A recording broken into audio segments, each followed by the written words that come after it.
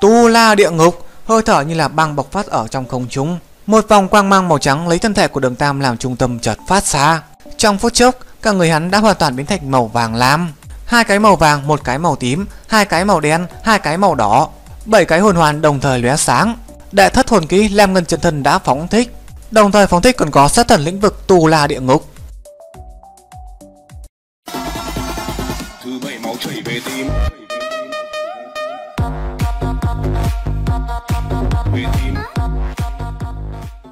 Hello hello, chào mừng em đã quay trở lại với video tiếp theo của channel NTG Và tất nhiên rồi, để tiếp tục vào chuyện 214 thì không có lý do gì mà chúng ta không đến với phần tiếp theo rồi phải không nào? Đấu là đại lục truyện chữ phần 215, hồn hoàn thứ 8 của đường Tam. Trước khi với chủ đề chính của video ngày hôm nay thì mình xin phép gửi đến anh em lời chúc tốt đẹp nhất. Và nếu như anh em xem video này, nếu như mà hay thì đừng quên bỏ ra một vài giây Ấn vào nút like, chia sẻ và đăng ký kênh nội cho mình nhá.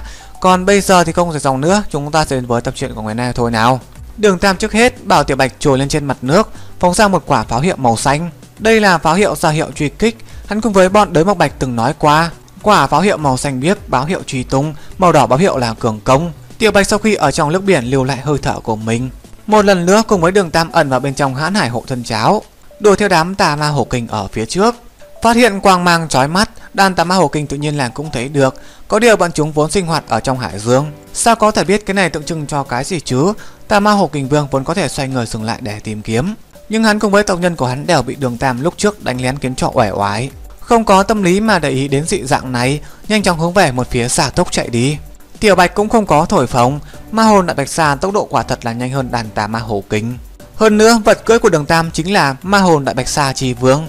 Rất nhanh bọn chúng đã đuổi theo sát phía sau đàn tà ma hổ kính. Lúc này đường tam công kích càng không cần phải kiêng nể gì. Có kinh nghiệm lúc trước, chỉ trong chốc lát đã có ba con tà ma hổ kính chết dưới tay của hắn.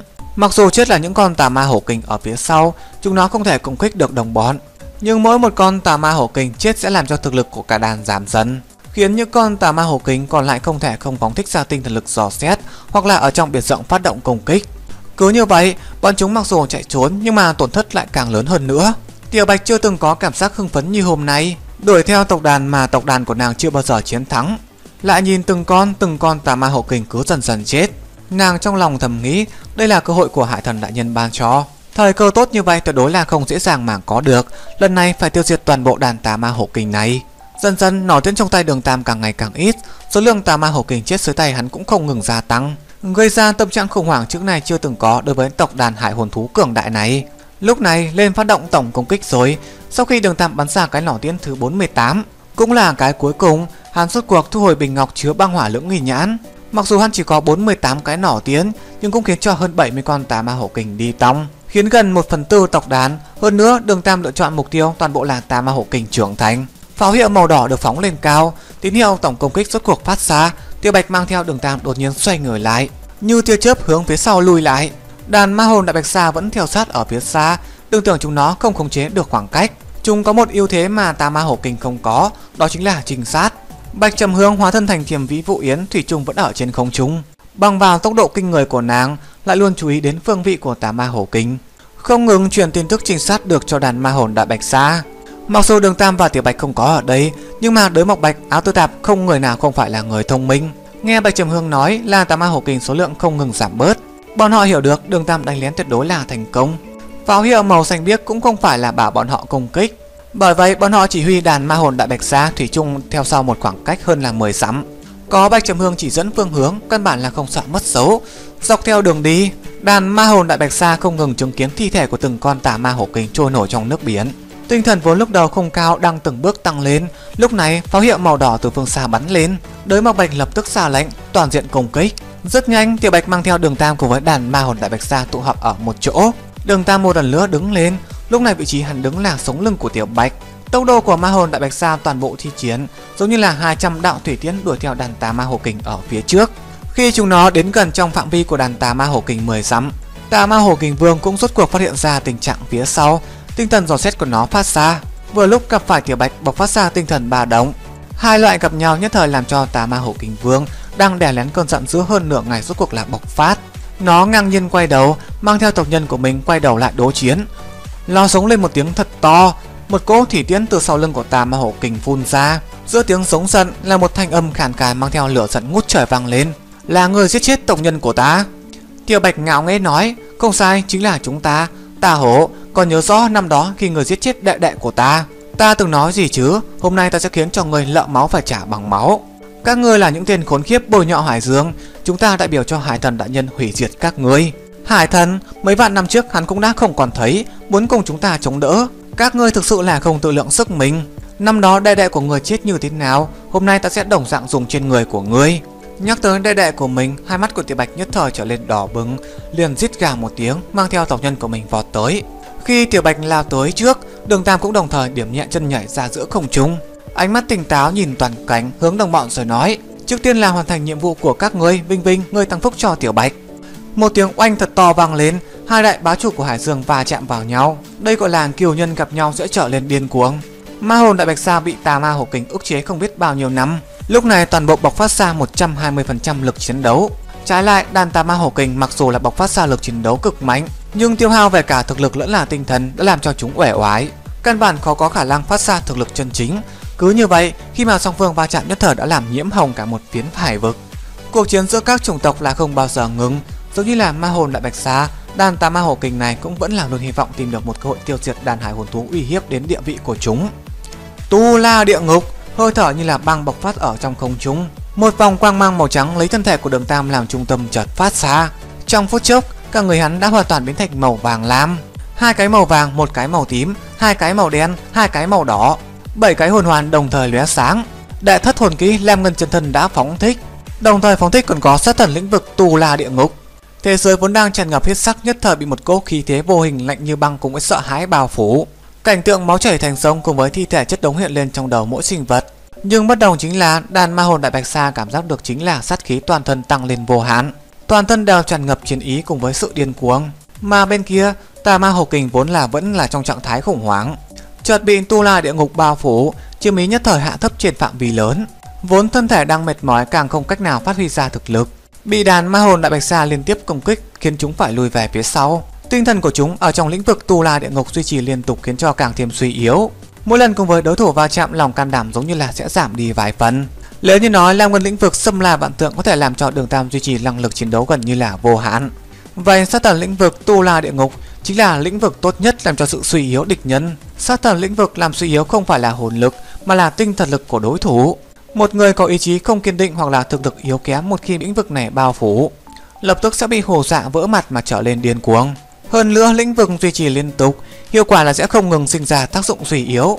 Dù cho tâm của đối thủ cực kỳ kiên định cũng sẽ là bị ảnh hưởng. Trái lại, ma hồn đại bạch sa dưới sự tăng phúc của tu la địa ngục, liền cảm giác chính mình như là tu la sát thần. Tốc độ công kích, lực công kích cùng với ý chí chiến đấu đều không ngừng đè thắng. Bên tăng bên xám, đàn tà ma hổ kinh vốn là thân thể đang cực kỳ mệt mỏi, cũng dần dần ngăn cản không được, càng ngày càng có nhiều con tà ma hổ kinh bị xé nát.